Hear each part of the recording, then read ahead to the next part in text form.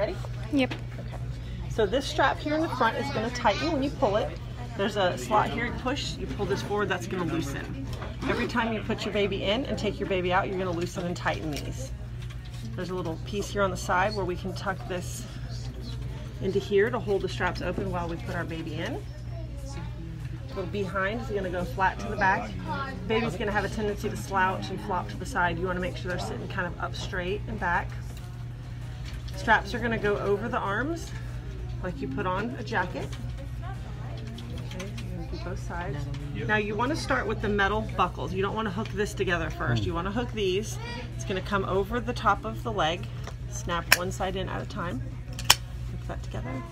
Push this together strap covers you're going to put on top of her shoulders like a backpack strap or him. Mhm. And you don't want to back too far because this will rub the neck. So you're just going to situate Okay. those. You're going to start down here on the bottom. There's a lot of slack in the hips. You want to pull all this slack up, Oh, okay. lower this clip down as far as it can go so that all your extra slack is up here. Mm-hmm. You're going to support the seat with one hand, grab the strap with the other and tighten. You notice the slack's leaving from the top. Mm-hmm. You tighten until you cannot lift it and pinch it. If I can lift it and make a pinch, then I have more snugging to do. Okay. Once I can't make a pinch, then I'm ready for step two, which is the clip that I've been keeping low. I now need to move it level with the armpits.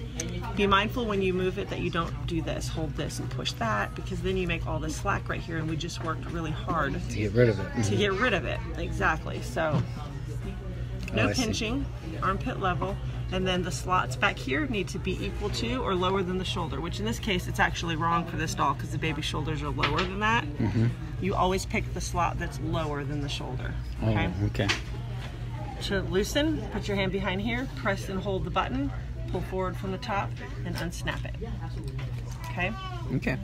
The insert is temporary. You're going to take this insert out. There's a little cushion underneath. It comes out at about 11 pounds. Make sure you remove that so that way it's, Once it's uh, bigger. Okay. Yeah. Straps are going to move up as the baby grows taller. Okay. Turn it over here. There's a mechanism back here. Unhook it, refeed it through. Make sure Oh, you go gotcha. under the bar and hook it, and then you'll use the longer length when you move it up. Okay. The handle can be in any locked position, but in your car, because it's tight, you want to keep it straight up. Okay. Okay, that's going to be easier because it can't be touching the seat in front and you guys don't have the room. Okay. You'll stay backwards as long as you can. Two years is your goal, but if you can go longer, do it. Okay. It's safer for the baby Okay. by 77%. Um, this seat, however, is temporary. It can only be used until the baby's either 32 pounds heavy or 32 inches tall. Okay. 32 inches is the average 14 month old. So Okay. feet hanging over doesn't matter, but if we don't have more than one inch of space at the top, then that means we're tall in the torso. We need to Okay. upgrade. And then okay? upgrade to a different size. Exactly. No jackets, coats, blankets, or sweaters. Don't add anything to the seat that didn't come with it, and always be mindful of loose things in the car. All right. Okay.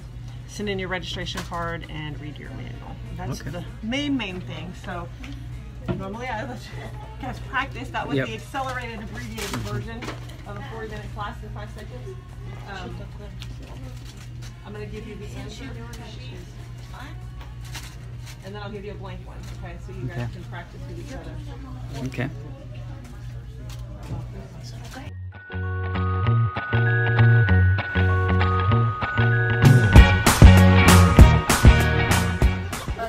Hi, this is me, Mama G, and this is my precious baby Brielle.